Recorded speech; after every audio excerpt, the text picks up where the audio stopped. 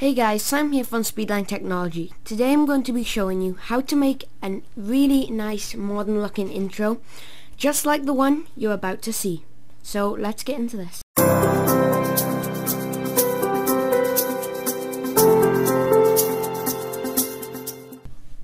So for this uh, intro tutorial I'm going to need a few things. The first one is the biggest one a program, a video editing piece of software. So I'm going to be using Adobe Premiere Elements 10, but you can use most video editing softwares because most of them are the same and they have them little bar things on the bottom, the time bars. So I have also a logo, a font which is Arista Light. This is a really nice font. Um, a modern gradient which is just that right there and a vignette or vignette. I'm not sure how to pronounce it, but you know what that is. It's just like the black edges. You can use that if you want. You don't have to though. You can find links to all of these things except the logo because that's mine in the description below. So let's get started. So I'm going to go to File, New and Project and I'm going to just change the settings to uh, DS, actually I'll do flip Flip Mino HD and Ultra HD 30p. Okay, okay, okay. And here we go. So uh, um, up here, I was pointing at the screen, but obviously you can't see that. So up here, right here, is where all your little parts are going to go. So I'm going to drag all of these in except the font.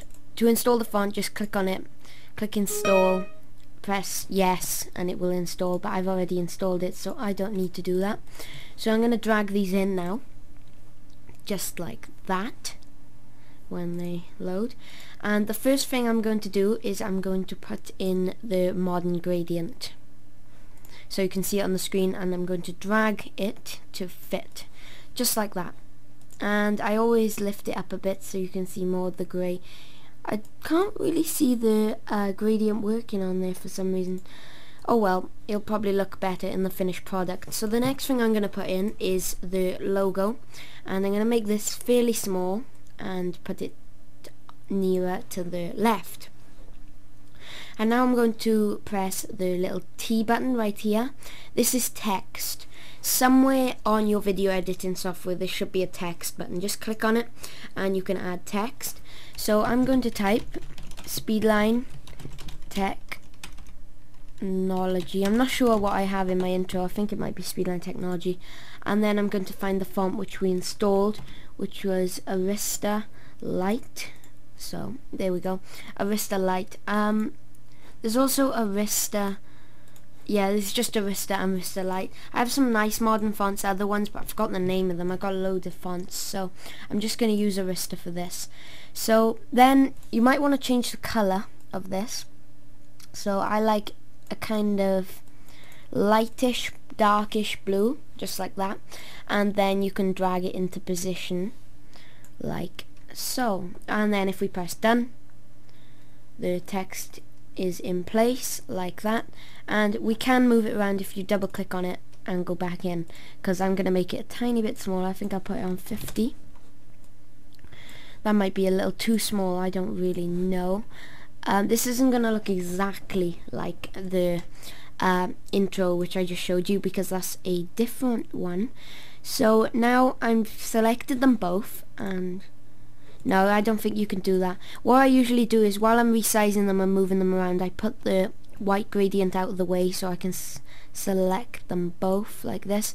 The text always is like a giant layer though so it's kind of hard as you can see this whole thing is just the text layer. So it's kind of it's quite hard to grip onto the world right there as well. So I'm going to move the world into position first over here a bit and then I'm going to make this bigger so it fits just like that. So there we go that looks quite nice now. Um, I'm going to get some royalty free music. I will show you that in a second Right, so right here I have opened two royalty-free music websites, two of my favourite ones. So the first one is premiumbeat.com. Unfortunately, this isn't exactly free. You have to pay for the music, but it is royalty-free. It is royalty-free. Royalty-free means um, you can't get a copyright note for it. You might get asked for payment details, not like payment details, I mean like payment confirmation so they know you have bought the music. But Incompetech is another one, but this one you can actually get the music for free, totally free. Um, you can check out both these sites. We use both of them for our music. The this um, both of the links will be in the description below. So right here, when you go to the Incompetech website, I'm talking so fast, I'm not, I don't even know what I'm saying. So right up here, there's a royalty-free music button. If we click on that, you have three options, collections, ISRC catalog and full search. I think you have to pay for some of the collections, I'm not sure, but I always click on full search anyway. And then you get a choice of like the music you want, so if I set bouncy and bright, we can have a look at some of these. Um, what's this? So there's all sorts of ones like Circus Waltz as well. I get a lot of questions asking what the intro music is. I'm not 100% sure. I have it downloaded somewhere, but I'll show you that another time.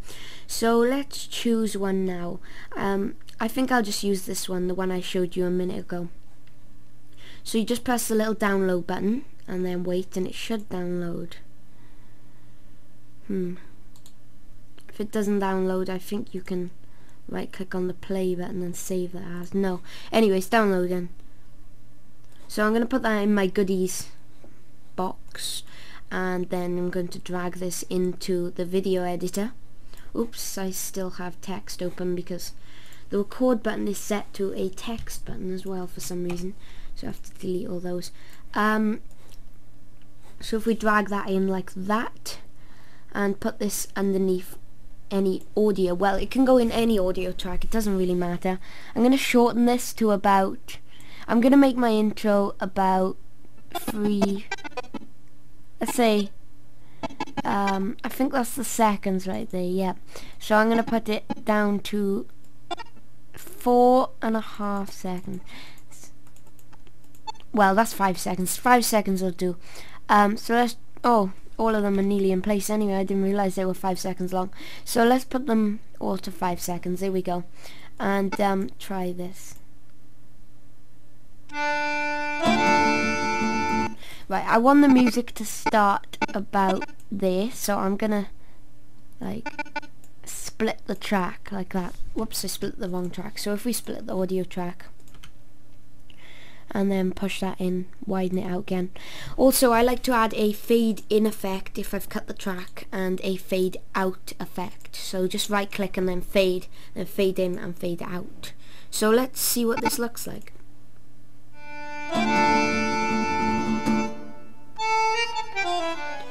Okay, that's okay. I'm not a big fan of the music of this intro that we've made, but it will do.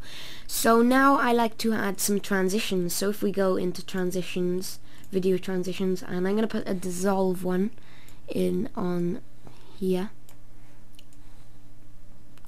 On each, all of them. And then I'm going to put a dip to black one on the end ones. So also, if you'd like to put the Vigonet thing in, you can go up and there should be a few spare tracks. So I'll put this in and see what it looks like. And also remember to add the dissolve effect to this as well if you're using it or whatever transition you are using. So there we go. And that's what it looks like. So there we go. So that's about it for this tutorial. Everything looks good now. I'm going to play this intro right now so you can watch it.